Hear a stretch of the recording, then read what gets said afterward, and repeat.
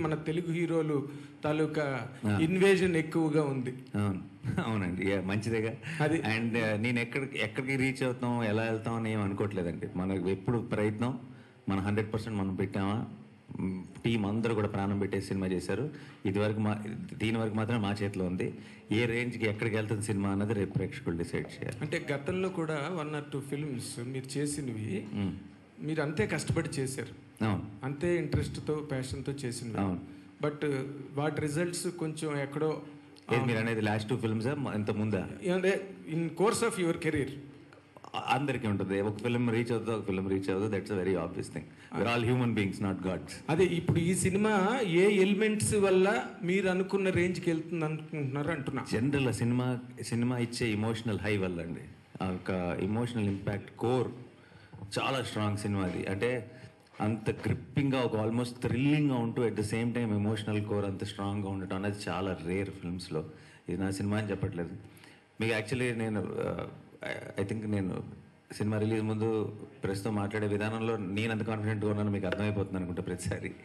And uh, ఈ cinema విషయంలో I'm sure it showing on my face but still రేపు మీరందరూ చూసి మీరు చెప్పడం కోసం నేను వెయిట్ చేస్తున్నాను.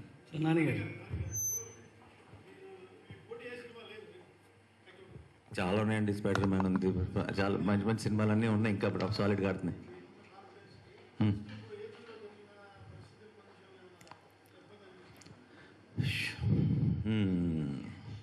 ఆ వచ్చిందా topic?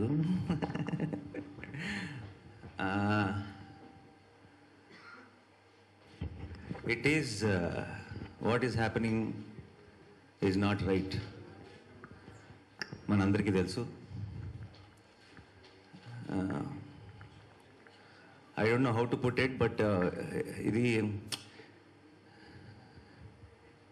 సినిమాలను సినిమాల్ని పాలిటి పాలిటిక్స్ని సినిమా వాళ్ళని పొలిటీషియన్ని అన్నిటిని పక్కన పెట్టేస్తే you are insulting the audience మీరు ఆ, ఈరోజు కూడా ఇక్కడ చూసిన పది రూపాయలు పదిహేను రూపాయలు ఇరవై రూపాయలు. ఒక